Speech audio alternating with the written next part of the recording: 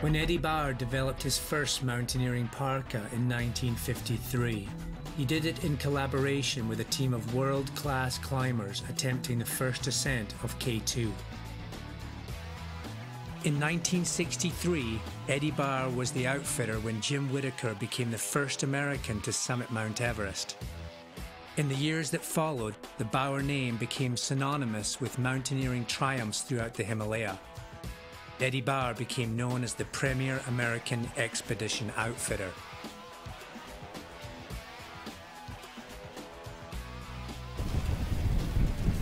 At 20,000 feet, the choices you make aren't casual. Lives depend on them.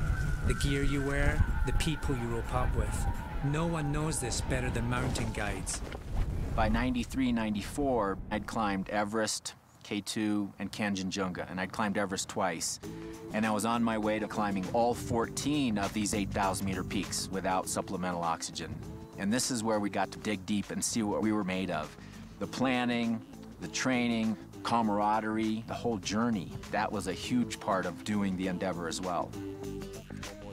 We've called it, you gotta pay the currency of toil. And it's true, it's not gonna be free. But it's worth it. When you get up top, you'll go, that was worth what I put into it. I've been climbing my whole life, uh, mountain guiding since I was 16, and I've made a profession out of it and love it. The winds are picking up. We're at about 21,300 feet here, reassessing. May not be a summit day today. Climbing mountains is a dangerous activity. It is. There are objective dangers that you absolutely cannot control in the external environment. I started out as a mountain guide in the Pacific Northwest on Mount Rainier. I kind of took that internationally to some of the peaks in South America and then transitioned into Himalayan mountain guiding. And it is different, Himalayan mountain guiding, but those skills translated really well for me. The weather's looking good, so pretty much we're seeing a green light and we'll keep our eyes open in case something changes. Last year, I did my 25th Denali expedition, my 25th Vinson Summit, it's the highest point in Antarctica. Uh, made it a nice round even 10 summits on Everest and passed 250 summits on Mount Rainier. I have so much respect for Dave Hahn, it's, it's unbelievable. What inspires me about guiding is helping people reach their personal goals. Most folks, you know, really rise up and then accomplish things that they didn't think they could. I've been guiding for 13 years now, and I can honestly say I've put blood, sweat, and tears into this profession. It's really moving along and doing good things. Do you even want to see there at all? Yeah. So we teamed up with some of the best mountain guides in the world to build the best gear in the world. What we're doing today is unique in that there's a lot of great gear out there, but in my opinion and Viesturs' and Hahn's opinion, things are being overbuilt.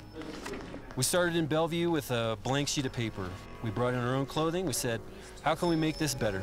Isn't that what we're going for? Is like a technical, clean look, not something that's like trendy and hip, because technical and clean is always trendier. So we're not where we need to be. Just Okay, so just this come fix in that. and get rid of that line.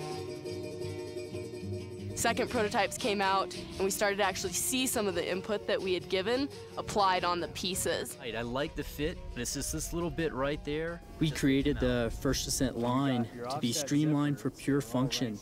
This was created by guides for what we do.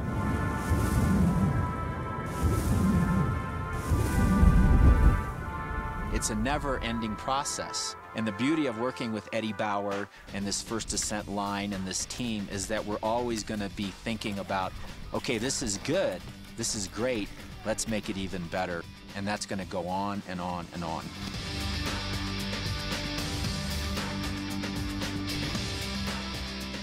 Simple, functional, light, durable, equal to any altitude on any continent. We know our guides live in it. From Antarctica to Denali, Kilimanjaro to Aconcagua, Rainier to Everest. First ascent. Everything you need, nothing you don't.